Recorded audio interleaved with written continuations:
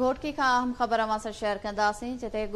दरिया ख़ान मक्सी ते हथियारबंदन हमिलो कयो आहे जदीद हथियारनि सां फायरिंग कई वई आहे अहम ख़बर सां शेयर कयूं पिया घोटकी खां हथियारबंदन जे हमले बाद गोठाणनि पारां बि फायरिंग कई वई जॾहिं त इलाइक़े में ॾहकाउ पखिड़िजी वियो आहे गोठाणनि ऐं हथियार बंद विचनि में फायरिंग जो सिलसिलो जारी आहे पुलिस चौकी तां अहिलकारनि जी बि फायरिंग जारी आहे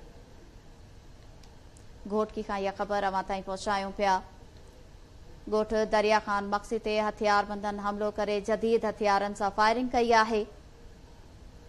पिया हथियार बंदन जे हमले बाद गोठाणनि बि फायरिंग कई आहे इलाइक़े में ॾहकाउ पकड़िजी वियो आहे हथियार बंदन विच में फायरिंग जारी आहे पुलिस चौकी तां अहिलकारनि जी बि फायरिंग जारी आहे ख़बर पिया दरिया ख़ान हथियार बंदन हमिलो करे जदीद हथियारनि सां फायरिंग कई आहे हथियारबंदनि जे हमले बाद ॻोठाणनि पारां बि फायरिंग कई वई आहे जॾहिं त इलाइक़े में ॾह ॾहकाव पखिड़िजी वियो आहे ॻोठाणनि ऐं हथियारबंदनि विच में फायरिंग जारी आहे पुलिस चौकी तां अहलकारनि जी फायरिंग बि जारी आहे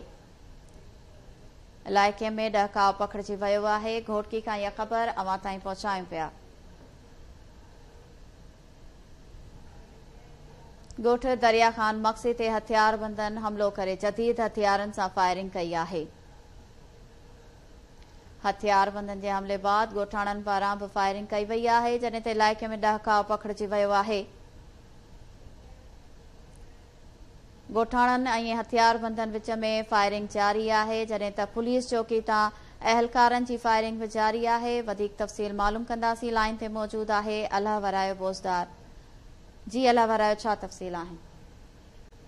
की आहे टे किलोमीटर जे मुफ़ासिले ते रोड ते दरिया खान मक्सी उन ते हथियारबंदन हमिलो कयो आहे उते पुलिस जी पिकट बि आहे हथियारबंदन पहुची करे उते गोठाणे खे अॻवा करण जी कोशिशि कई जंहिं दौरान पुलिस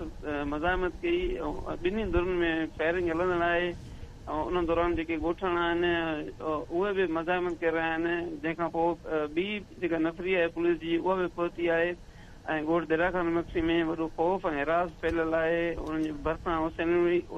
रोड आहे उते बि माण्हुनि जी अचु वञु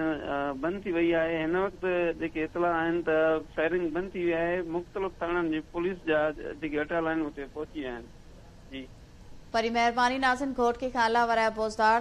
आहिनि